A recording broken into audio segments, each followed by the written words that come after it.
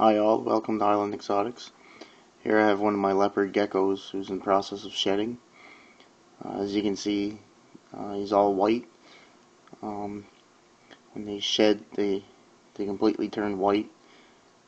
Uh, process started yesterday. Uh, generally takes about 24 hours. Then they'll start peeling off that that old skin. And you get his color back with the new skin underneath. Uh, they will eat the, uh, the skin coming off as it's good nutrients for them. Uh, these guys, uh, I have two of them in here. These guys are shedding at the rate of every two weeks. Uh, they're about four or five months old. So that's uh, that's telling me that they're growing at a nice pace. They're uh, nice and healthy.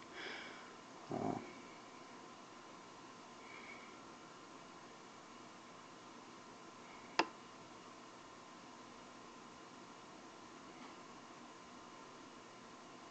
Alright, thanks for watching.